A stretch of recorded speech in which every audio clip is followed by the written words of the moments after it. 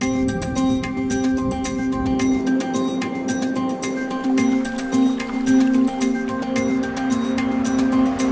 in Columbia Falls, Montana, which is the gateway to Glacier National Park. This is an incredible place to live. Once you've been here and once you've sunk your fingers into the dirt, I don't know that I couldn't imagine living anywhere else.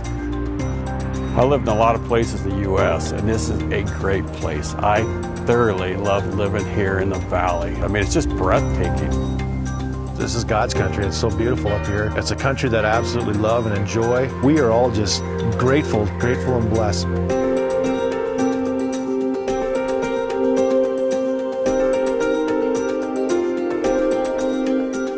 Plum Creek is very proud to be in this community. We have approximately 750 employees here in the valley, contribute approximately $50 million per year in direct payroll right at the economy. So we're a big driver here within the Flathead Valley. I think it's a great company. It has, it, Plum Creek has been an amazing uh, impact in my life. Plum Creek has stepped up and made a difference in the quality of life in Columbia Falls, Montana.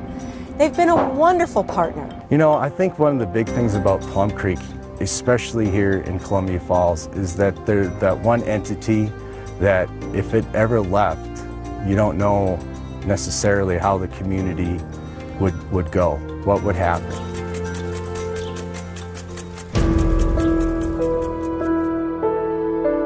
When the announcement was made that Plum Creek was shutting down indefinitely, I had to start to think about what I was going to do with the rest of my life.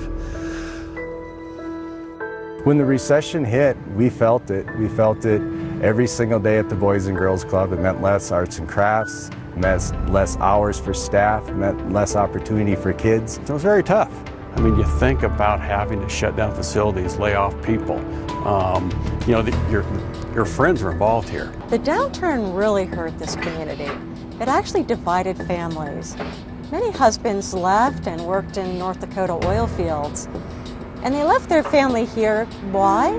Because they loved Columbia Falls. They loved the small town environment. If I was gone four to six weeks at a time to put food on the table, to pay the bills, um, to pay the mortgage, um, came close many times to, uh, you know, just almost having the roof taken out from under us.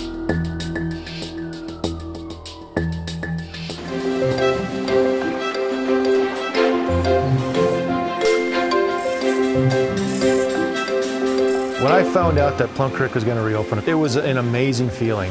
For it to last four years was uh, beyond anybody's belief. When the jobs started coming back at Plum Creek, you could feel it immediately at the Boys and Girls Club. And the entire community, not just the nonprofits, could feel the wave. It means lunches and dinners at the diners. It means support for after-school programs. If you think about our presence here, it goes back over seven decades. And I think all along there's been that sense of uh, involvement with the community. I think we're all grateful in the community for Plum Creek. Not only our Habitat families, but all of us having Plum Creek here as a wonderful corporate neighbor.